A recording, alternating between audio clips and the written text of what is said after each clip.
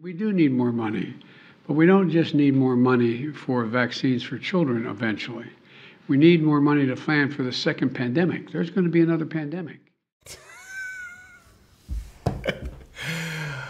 there's going to be a second pandemic. We, we know there's going to be one.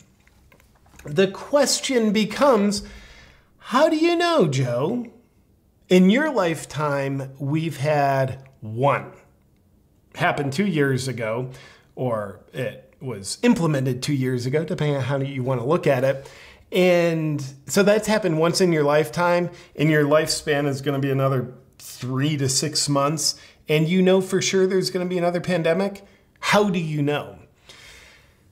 Man, this is like when when corrupt people are uh, how should we say it? When corrupt people are planning on how to deal with another pandemic, we have to ask ourselves are they planning on defense or are they planning on offense? It's like Event 201.